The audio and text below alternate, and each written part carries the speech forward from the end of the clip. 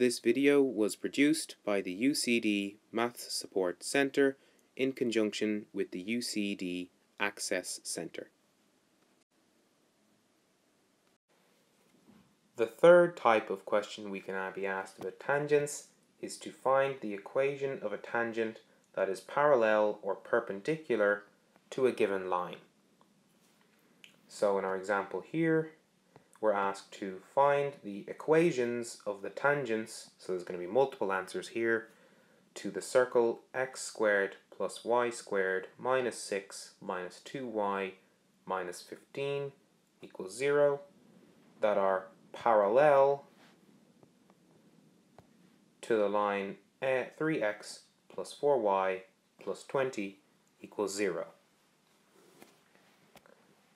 So you might recall that if we have an equation for a line ax plus by plus c equals 0, a parallel line, a parallel line has equation ax plus by plus d equals 0. So the only thing that changes to get a parallel line is the constant value because you want the two equations to have the same slope. So the slope here is minus a over b. The slope here is still minus a over b. The only thing that's different is where your where your line cuts the y-axis, the constant value here tagged on at the end. So the first step in the solution to this question is to write the general equation of a tangent to be 3x plus 4y, so the same as we have above, plus some other constant, let's call it c. So the whole goal of this question from now on is going to be to find out what the value of this c here is. So to do that, we're going to have to use our perpendicular distance again to find the values of c that give a tangent where the perpendicular distance from our center to our line will be equal to our radius. And again, just to make that picture a bit clearer, the reason we do that is because if we have we have a circle this time with some center point, say here, and we're given a line, say a line out here. It may not even intersect our circle, but say we're given a line here, and we want lines that are parallel to that, but a tangent to this circle. So you can see there are two answers already, the one that lies on top of the circle and the one that sits just underneath the circle.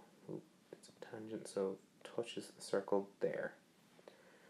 So these two lines touch our circle, they're at one point, they're tangents, but they're parallel to this original line up here, this red line here.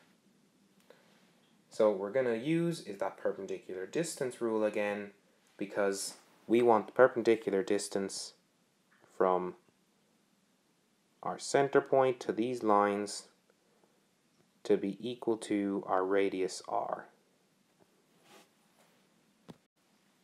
So going back over here,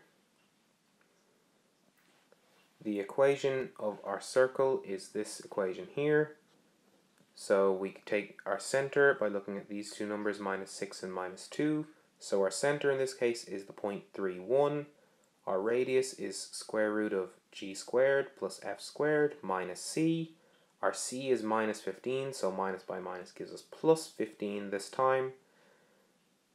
So we take the square root of 3 squared is 9, 1 squared is 1, 15 stays as it is, so we get square root of 5 square root of 25 rather, and we have a radius of 5.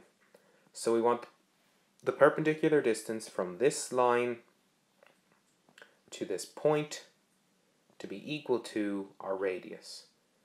So our perpendicular distance formula, we just need to label our x1 our y1, our a, b, and our c in this case is that unknown we're looking for. We're trying to find out what this value of c here is. So filling in our formula, we can see it's done here.